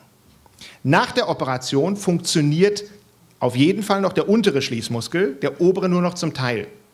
Sie müssen also praktisch den Schließmuskel, den Sie vom Gehirn aus steuern können, so trainieren, dass Sie ihn zukneifen, auch dann, äh, wenn, äh, wenn Sie gar nicht dran denken. Und das ist eine Trainingsübung. Und das, ich vergleiche es immer damit, so wie ein Kind lernt, eine Schleife zu binden am Schuh. Am Anfang macht man jeden Handgriff einzeln und heute als Erwachsener macht man wupp, wupp, wupp, ist fertig. Aber wehe, man wird zwischendurch unterbrochen, da muss man wieder bei, bei Null anfangen. Weil es heutzutage ein Ablauf ist, den man macht, ohne nachzudenken. Ähm, durch die äh, intensive Beckenbodengymnastik äh, sind die Patienten im Regelfall, also 98 Prozent der Patienten, nach einem Jahr gut kontinent, so dass sie selber mit dem Ergebnis zufrieden sind. Viele Patienten schon viel, viel früher, aber es kann bis zu einem Jahr dauern, bis das Optimum an Kontinenz erreicht ist. Ich will Sie jetzt hier nicht mit den OP-Schritten, ja, Sie brauchen das nicht zu Hause nachmachen zu können, äh, äh, langweilen. Was, was mir wichtig ist, also so sieht so ein OP-Roboter aus, also das rechte ist der, das rechte ist der OP-Roboter. Ähm, das hier ist dann, das hier ist dann die, die Videokonsole. Es hat schon Operationen gegeben, wo der Operateur in Frankreich saß und der Patient, der operiert wurde, lag in den USA auf dem OP-Tisch. Äh, wobei sie natürlich immer erst die Löcher machen müssen, um, die, um das Instrument einzuführen. Ähm, wie gesagt, so sieht so ein Roboter aus. Vorteil hat das Ganze nur an den ersten zwei Tagen nach der Operation. In den USA wird fast alles mit so einem Roboter operiert, weil die US in den USA sind die Krankenhäuser mehr oder weniger gezwungen, alle Patienten am Tag nach der Operation zu entlassen. Ja, in Deutschland liegt der Patient im Schnitt sieben bis acht Tage. Ja, ähm, also wenn es, wenn es der Wunsch besteht, äh, am Tag nach der Operation nach Hause zu gehen, empfehle ich jedem, sich vom Roboter operieren zu lassen. Ansonsten gibt es keinerlei Vorteile dieser OP-Methode, aber sie wird extrem beworben. Und in den USA gehen die Leute dann meistens in, ins Hotel auf der anderen Straßenseite und lassen sich von dort aus noch, noch, äh, noch weiter behandeln. Ähm, wie gesagt, so sitzt der Operateur. Das Einzige, was er nicht darf, ist zwischendurch mit dem Kaffee kleckern. Ähm, das zweite Problem außer der Harninkontinenz, was man bei der Operation ansprechen muss, ist das Thema Impotenz. Direkt hinter der Prostata laufen Nerven. Das war dieses Nervengeflecht hier, das hinter der Prostata und der Blase verläuft. Diese Nerven sind die Verbindung vom Gehirn runter zum Penis, wenn es um die Auslösung einer Gliedsteife geht. Also nicht, die sind nicht verantwortlich für das Gefühl im Penis, äh, für das Orgasmusgefühl, sondern sie sind dafür verantwortlich, dass überhaupt eine Gliedsteife kommt. Und Sie können mit speziellen OP-Techniken versuchen, diese Nerven praktisch drin zu lassen, aber die Prostata trotzdem rauszunehmen. Das können Sie aber nur machen, wenn es sich um ein Frühstadium handelt. Je fortgeschrittener der Tumor ist, desto radikaler müssen Sie sein. Wenn Sie sich das hier im Querschnitt angucken, das hier soll die Prostata sein. Hier hinten ist schon der, der Enddarm, dazwischen haben Sie 5 mm höchstens. Und genau in dem Zwickel dazwischen liegen hier diese Nerven. Das heißt, wenn Sie die Nerven erhalten, schneiden Sie ganz dicht an der Prostataoberfläche. Wenn der Tumor aber schon fortgeschritten ist, riskieren Sie, dass damit Tumor drin bleibt. Und das geht unter den Umständen nur, wenn der Tumor wirklich im absoluten Frühstadium äh, behandelt wird. Können die Nerven erhalten werden, dann ist es so, dass 20 Prozent bis 25 Prozent der Patienten ohne Hilfsmittel, ohne Medikamente normale Erektionsfähigkeit haben oder wiederbekommen. Ähm, weitere etwa 50 Prozent der Patienten, 50 bis 60 Prozent, äh, haben die Situation, dass wenn sie Viagra, Cialis, ich mache jetzt hier keine Werbung, Levitra, damit habe ich glaube ich alle genannt, wenn sie das einnehmen, äh, dass dann die Gliedsteife ausreichend stark äh, kommt. Aber es wird trotz allem immer etwa die besten Prognosen äh, sagen 5%, die schlechtesten sagen 25% von Patienten geben, obwohl man die Nerven erhalten hat, die trotz allem Erektionsstörungen haben, die dann auf andere Hilfsmittel übergehen müssen.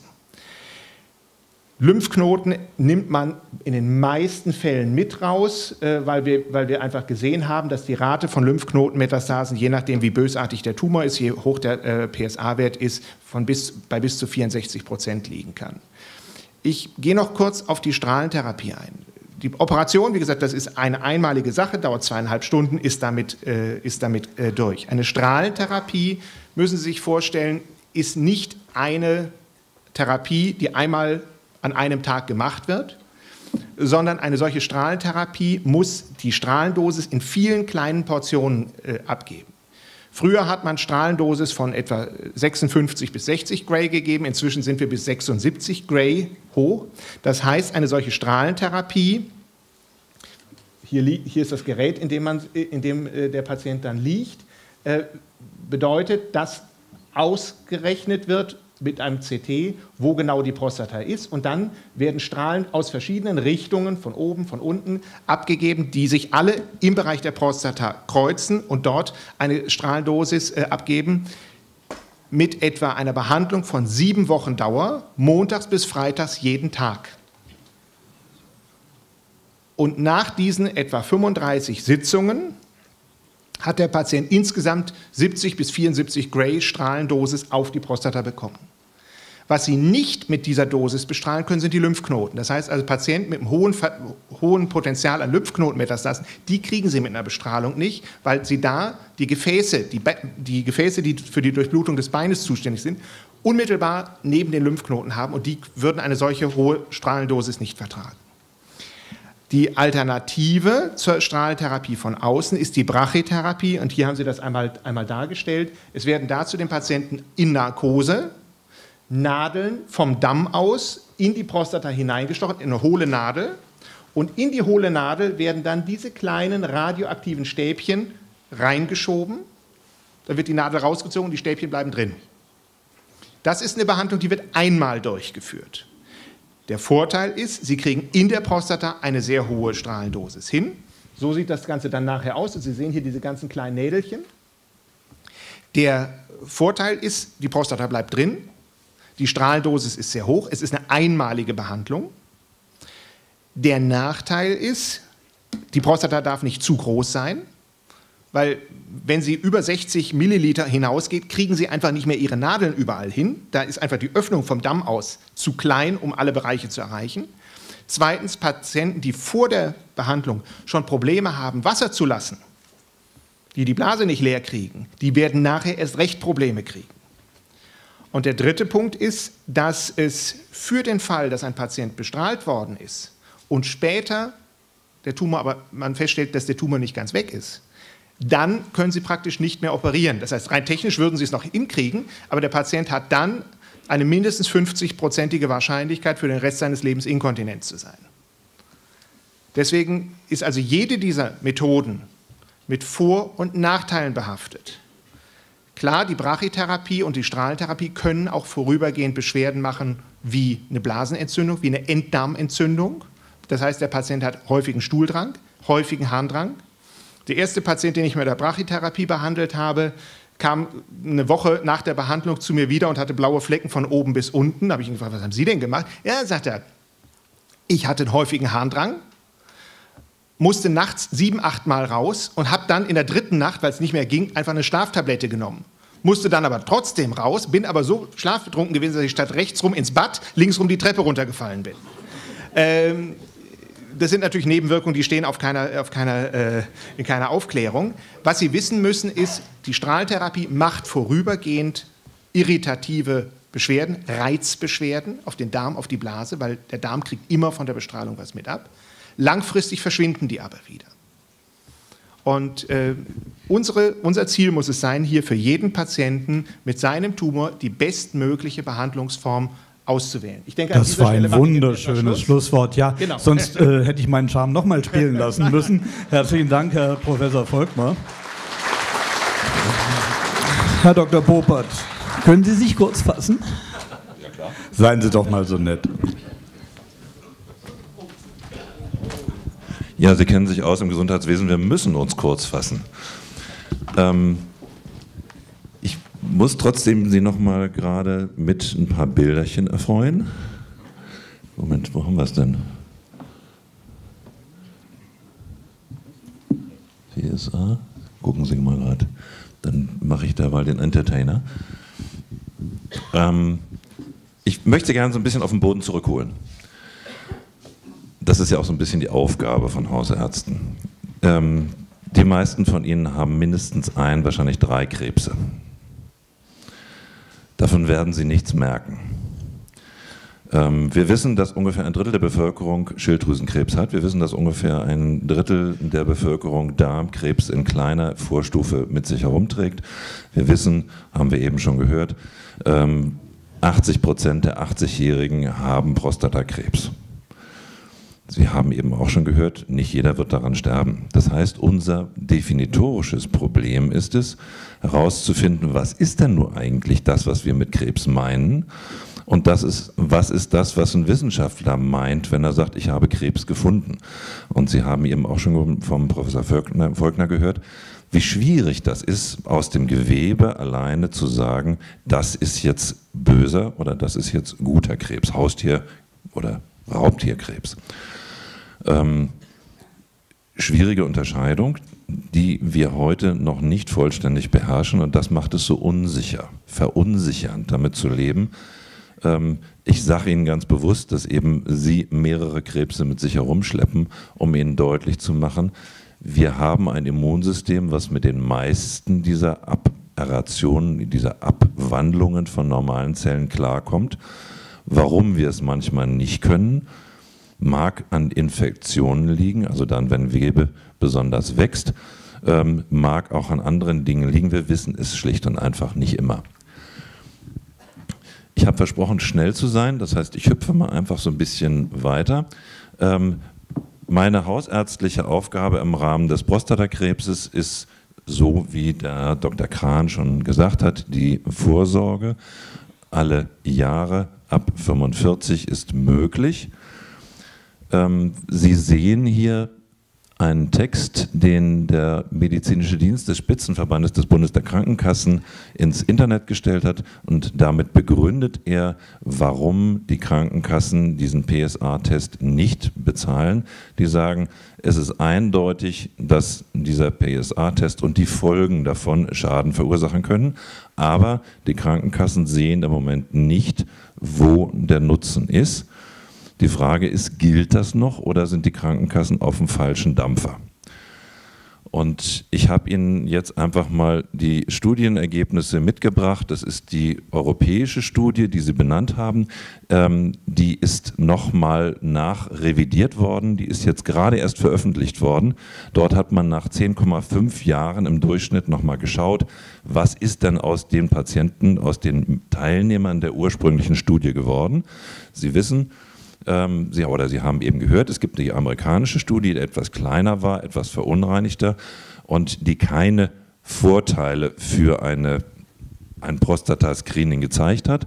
Und es gibt die bessere Studie, die europäische mit den 120.000 Teilnehmern. Das ist diese Studie, das heißt, da ist was rausgekommen. Wie viele ich habe das auf 1000 Patienten umgerechnet, einfach um das plastischer zu machen. Das lässt sich leichter darstellen. Also von 1000 Männern zwischen 55 und 70 Jahren, das waren die Studienteilnehmer, werden ohne PSA-Screening fünf an Prostatakarzinom sterben. Das heißt, wenn ich hier richtig durchgezählt habe, würde das bedeuten, in diesem Raum hier einer wird an Prostatakrebs sterben. Die besten und neuesten Studienergebnisse sagen, ich muss 1000 Männer zwischen 55 und 70 Jahren zehn Jahre lang alle vier Jahre untersuchen und das PSA bestimmen, wobei die eine Variante gemacht haben, die haben den Cut-off des Testes nicht bei 4 Nanogramm, sondern noch etwas empfindlicher bei 3 Nanogramm pro Milliliter gemacht.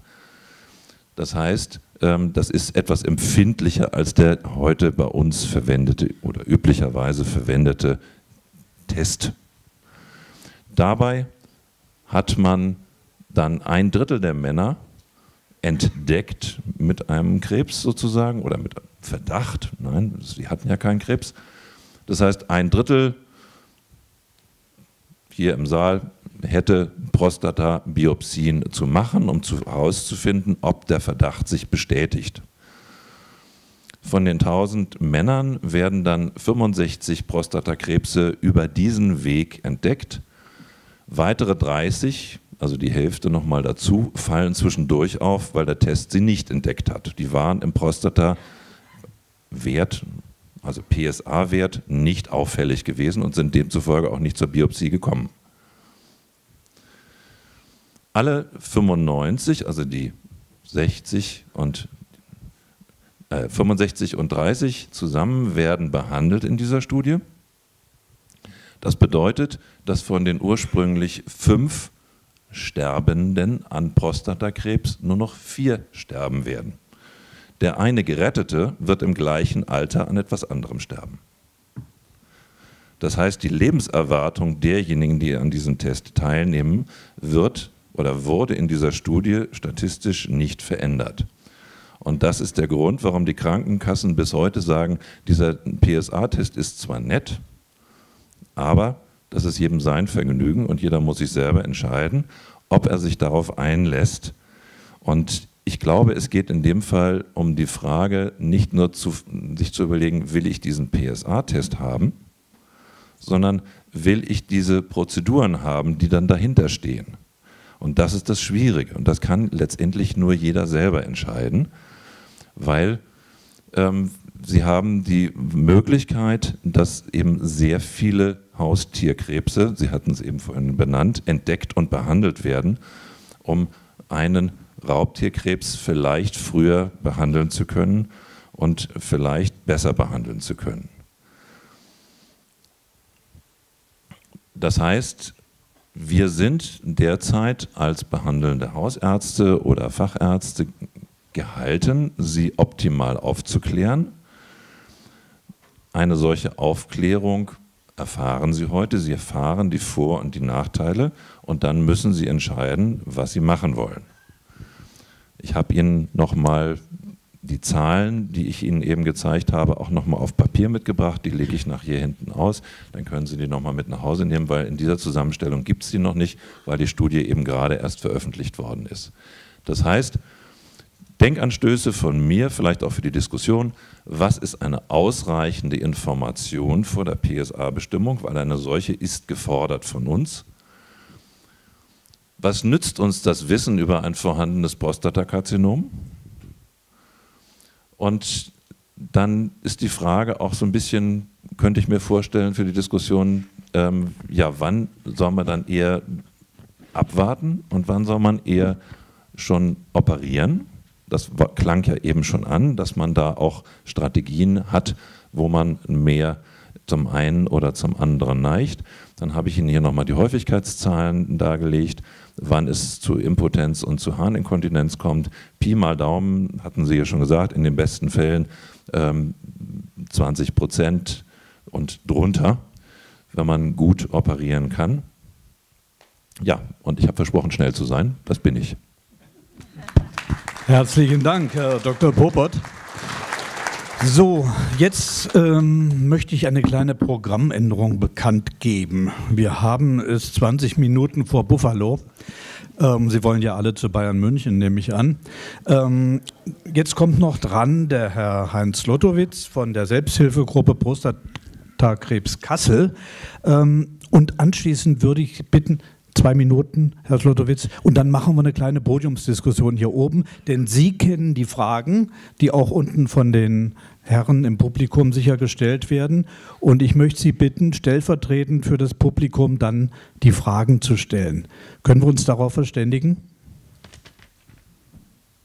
Nicht drücken, einfach reden. Einfach reden. Alles klar. Wunderbar. Dann äh, schießen Sie los. Ja, gut. Also es wären maximal, Ins Mikrofon. Es wären maximal zwei Minuten bei mir. Also ich werde deshalb meinen Spickzettel zu Hilfe nehmen, damit ich auch keine wichtigen Einzelheiten vergesse und das nicht unnötig ausdehne. Ich spreche jetzt aus der noch ein Sicht, bisschen dichter dran. Ich spreche jetzt aus der Sicht eines Betroffenen und aus der Sicht von äh, betroffenen Männern, die in der Selbsthilfe organisiert sind, mit denen ich ständig zu tun habe. Die Selbsthilfegruppe bietet betroffenen Männern Hilfe an, denn vielen Betroffenen fällt es schwer, über diesen Männerkrebs zu sprechen. In der Gruppe erleben die Männer, dass sie nicht alleine sind. Sie erfahren, wie andere Betroffene mit dem Krebs und den Folgen umgehen und wie sie damit zurechtkommen. Die betroffenen Männer gewinnen neue Freunde und lernen, die Krankheit anzunehmen und als Teil des Lebens zu begreifen. Wir tauschen uns über unsere Behandlung und die Nachsorge aus, sprechen über Möglichkeiten, sich zu informieren. Uns ist auch die Erkenntnis wichtig, dass Prostatakrebs keine reine Männersache ist, sondern die Partnerin ebenfalls betrifft.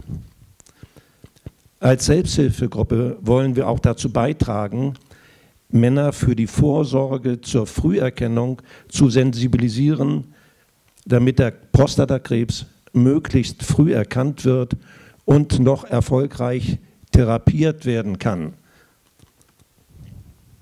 Unseres Erachtens ist es sehr bedenklich, dass in Deutschland die Möglichkeit zur Prostatakrebsfrüherkennung nur von rund 20 bis 25 Prozent der Männer genutzt wird. 20 Prozent im Westen, 25 Prozent im Osten.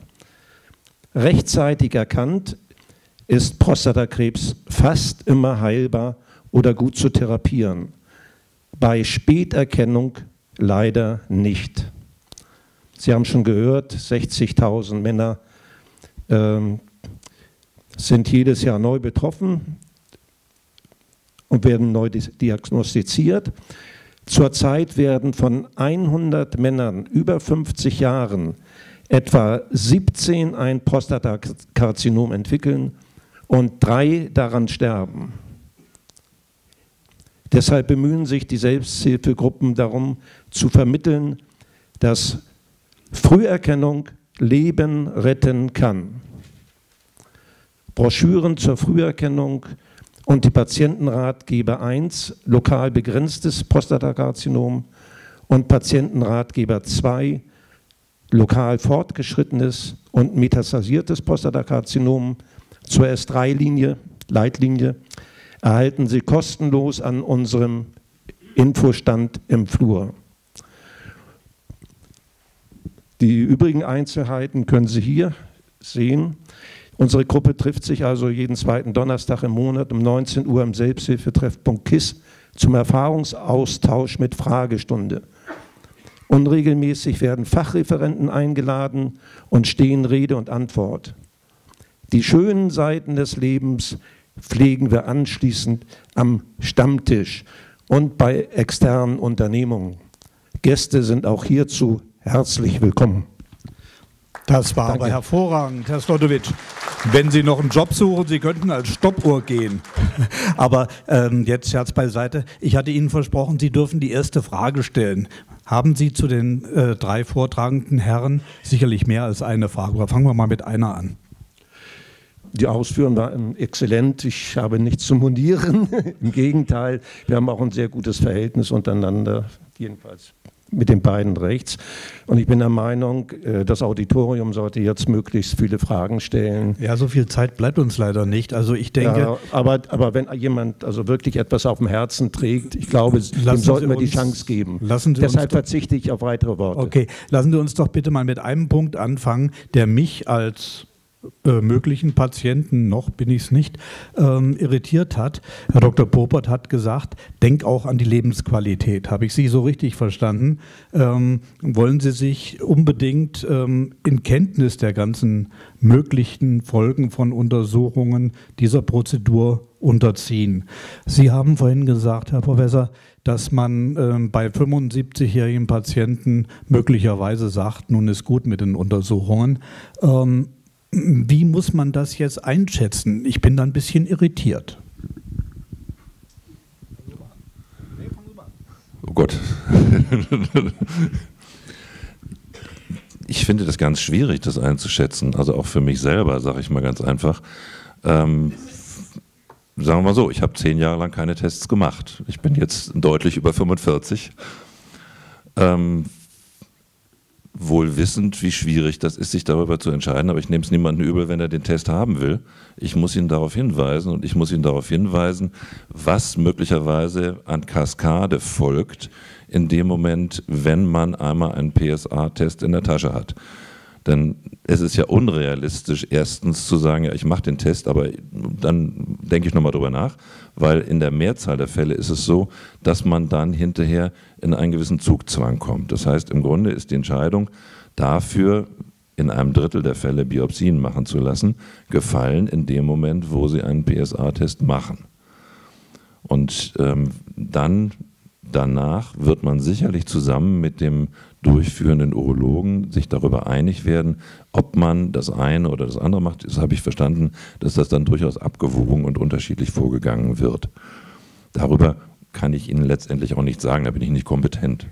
Ne? Meine Kompetenz ist darin, erstmal überhaupt zu sagen, lieber Mensch, ich kann dich informieren darüber, was passieren kann. Ich weiß nicht, was bei dir los ist.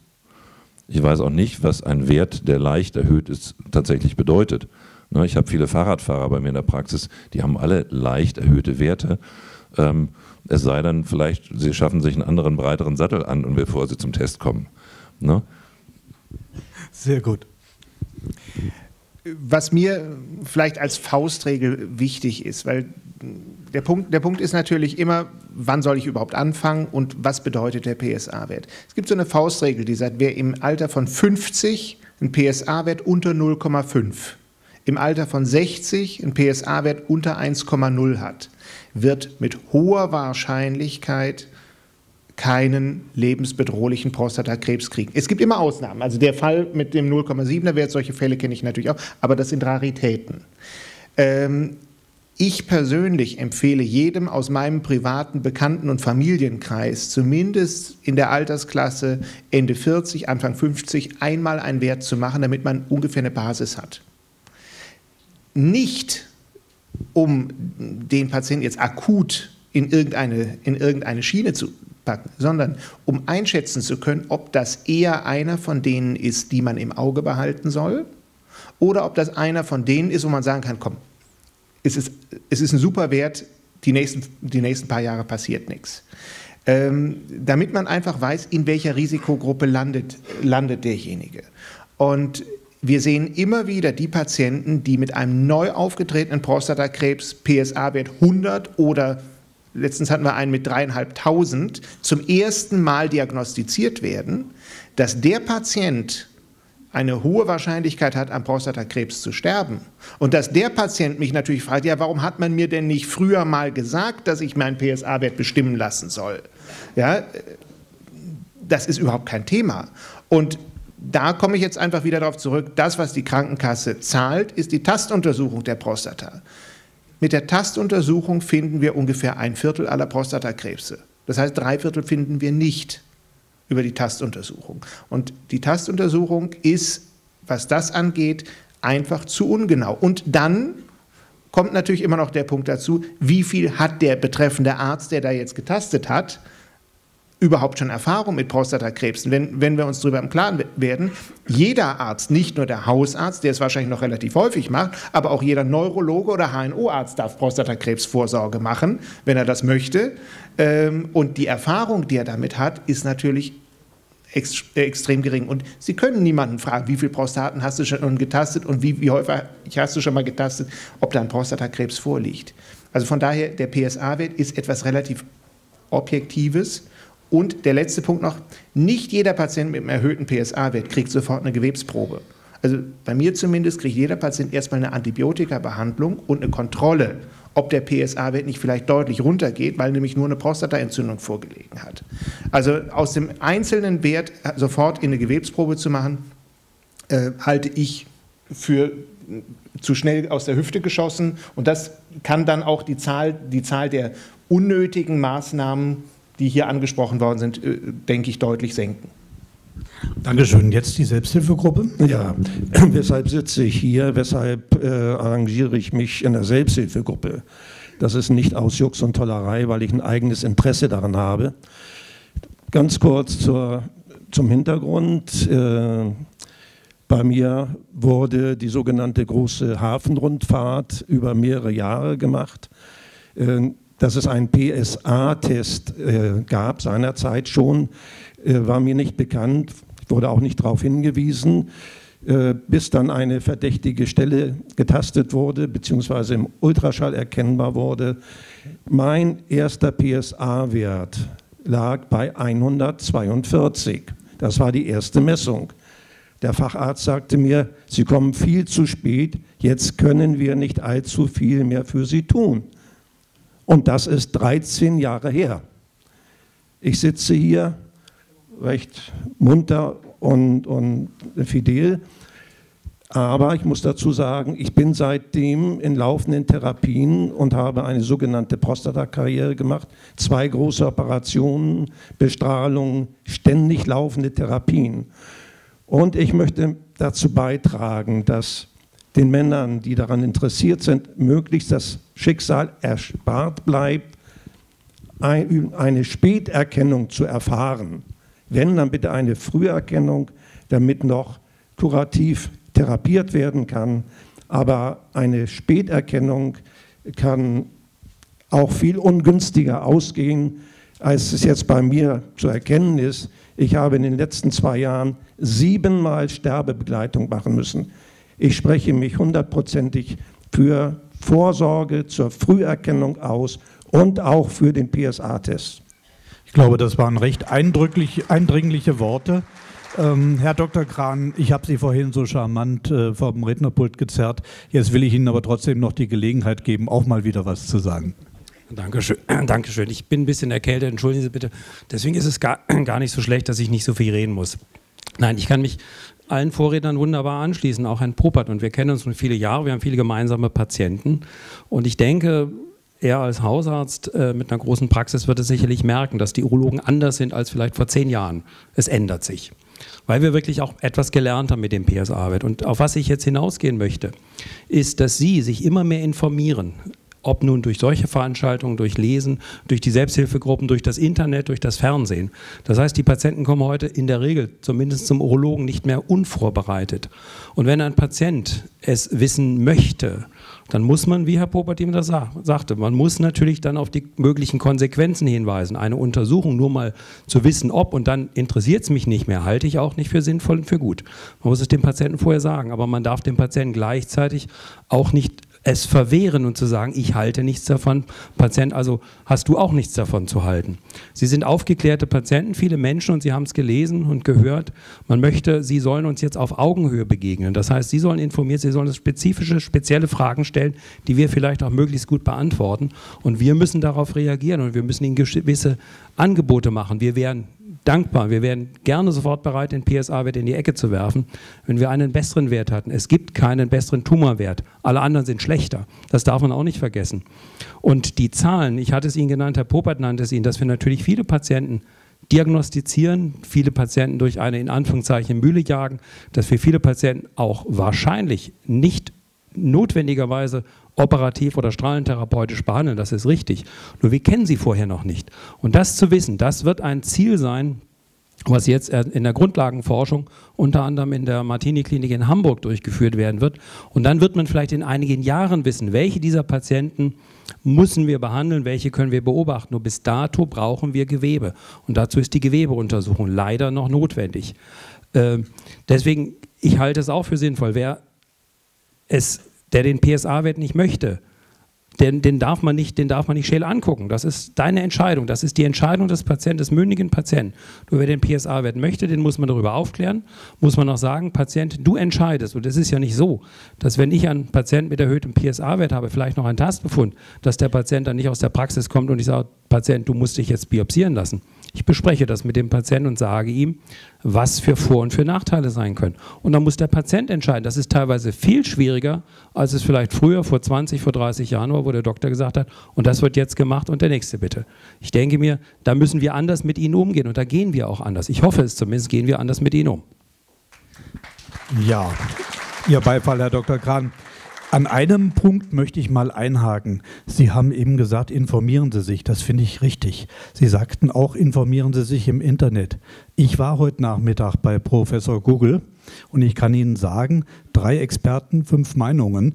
Und äh, welche nun davon richtig ist, dafür fehlt mir dann der richtige Ansprechpartner. Also wer Bedenken hat, der sollte seinen Arzt mal ganz locker darauf ansprechen. Oder er sollte in eine Selbsthilfegruppe geben. Ich finde die Arbeit unheimlich wichtig und hilfreich, auch für die Patienten. Ich denke, bei dieser hohen Durchdringung, sagt man so, ähm, der Männerwelt mit Prostatakarzinomen kennt jeder irgendwie einen, der doch schon mal deswegen Bedenken hatte, beim Arzt gewesen ist.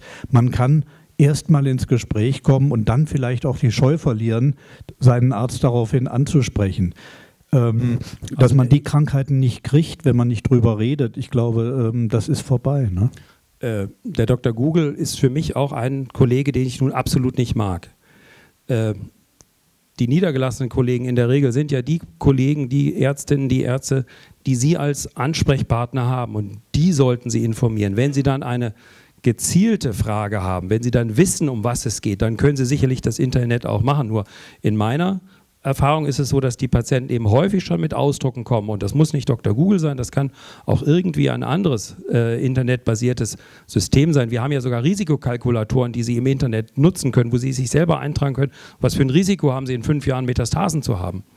Äh, mit diesen Informationen kommen die Patienten, aber die Besprechung mit dem Arzt, mit der Ärztin muss am Anfang stehen und muss eigentlich diese weitere Information begleiten. Und dazu sind die Hausärzte eminent wichtig und dazu sind wir wichtig. Wir alle sind dazu wichtig. Und die Selbsthilfegruppe. Ich denke, auch Herrn Slotowitsch können Patienten ansprechen, die vielleicht noch gar kein Prostatakarzinom nachgewiesen haben. Ist kein Selbstverständlich. Und zwar jederzeit. Äh, die Uhrzeit spielt keine Rolle. Ich erhalte Anrufe auch, also nach Mitternacht. Ich möchte es nur nicht, dass es zur Regel wird. Aber eine hervorragende Informationsquelle sind die Broschüren, die wir ausgelegt haben. Ich möchte auch so wenig wie möglich wieder nach Hause schleppen davon. Das sind Broschüren, die sind für Patienten geschrieben. Es handelt sich dabei um die S3-Leitlinien, die weitgehend verbindlich äh, äh, für die Fachärzte sind und so weiter, in einer Form, die für jeden verständlich ist. Es gibt eine Broschüre zur Früherkennung, ist vor kurzem rausgekommen. Dann gibt es eine Broschüre für das lokal begrenzte Prostatakarzinom und für das metastasierte und fortgeschrittene. Dann sind außerdem noch äh, zwei Fachzeitschriften, interne des Bundesverbandes dabei. Äh, die können Sie selbstverständlich gern ebenfalls nehmen, soweit er noch Bestand ist. Diese Broschüren sind alle kostenlos. Und dann sind Sie viel, viel besser informiert, als Sie das allein übers Internet machen könnten. Und dahinter steht die Deutsche Krebsgesellschaft mit äh, einem großen Expertenstab.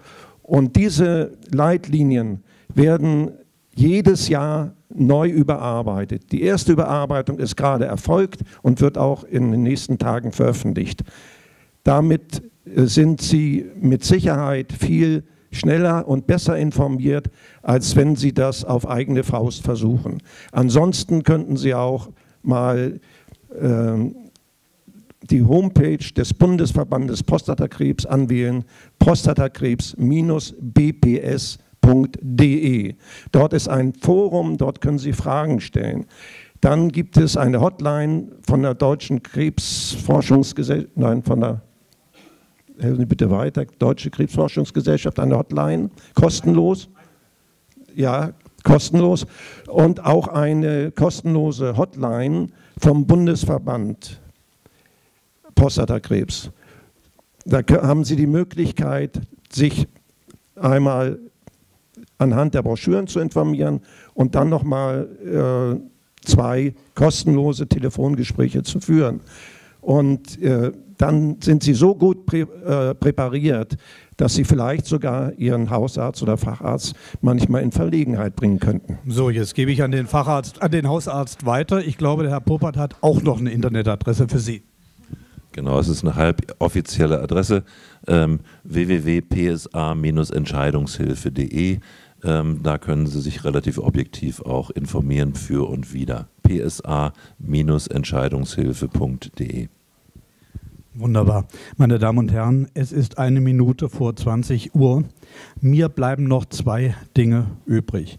Erstens möchte ich darauf hinweisen, dass wir uns am 15. Mai hier wiedersehen zum Thema Kopfschmerz. Ich hoffe, Sie kommen alle ohne Kopfschmerz hierher. Und äh, das Zweite, was ich sagen wollte, Frau Dr. Müller hat es am Anfang schon mal gesagt, das, so sieht er aus, der Organspenderausweis. Sorgen Sie dafür, dass Sie so einen in der Tasche haben, denn dann können Sie selbst darüber entscheiden, was mit Ihren Organen passiert, sonst machen das nach Ihrem Tod andere. Und jetzt gebe ich das Mikrofon an Frau Dr. Müller. Sie will sicherlich noch ein Wort sagen. Vielen, vielen Dank, liebe Experten, die Sie hier waren äh, und uns so gut aufgeklärt haben. Ich denke, das ist ein richtig kräftigen Applaus wert.